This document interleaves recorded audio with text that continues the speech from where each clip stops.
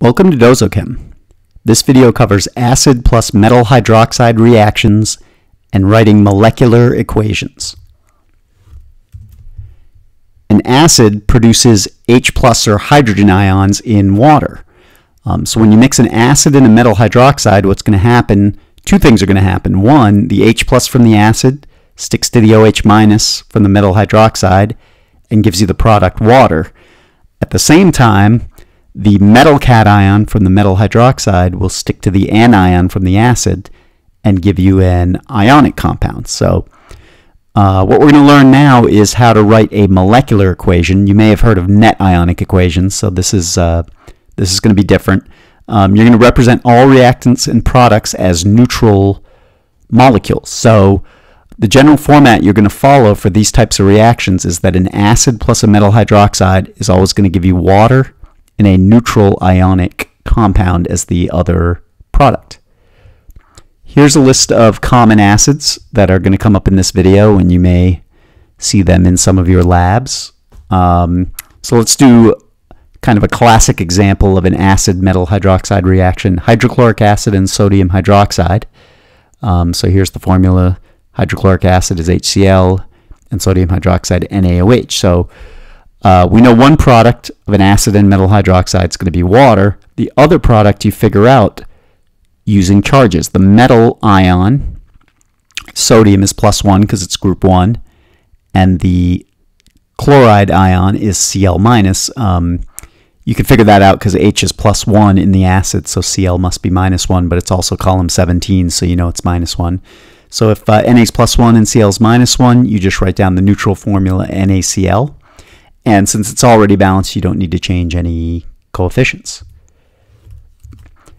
Uh, one tip before we continue, when you go to balance, one way to think about it is that the number of H pluses should equal the number of OH minuses and also should be equal to the number of waters formed in the reaction. So next example, nitric acid and calcium hydroxide nitric acid's HNO3 and calcium hydroxide CaOH2 because calcium's plus 2 and hydroxide is minus 1, so you get the formula CaOH2. So it's a metal hydroxide and an acid, so we know one product is water.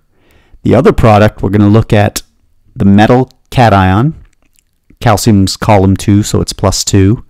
And the anion from the acid, nitrate, is minus 1. So to get a neutral formula, you get CaNO32 um, to make it neutral. Now to balance, using the tip I gave you above, if hydroxide, there's two of them, then you're going to need two H pluses, and there's only one uh, over here in front of the nitric acid. So if we make that a 2, I'll now have two H pluses, two OH minuses, and then I'm also going to want to put a 2 in front of the water um, because all three of those have to be the same and it's balanced.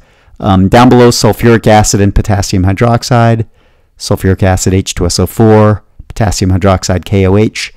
So one product water, the other product K is column 1, so it's plus 1. Sulfate is known to be minus 2, so my formula's got to be neutral, so I make it K2SO4.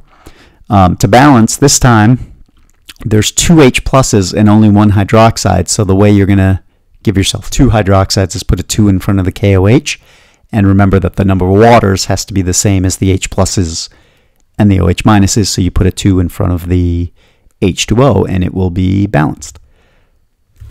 Last example, phosphoric acid, barium hydroxide. So phosphoric acid H3PO4 and barium hydroxide BaOH2.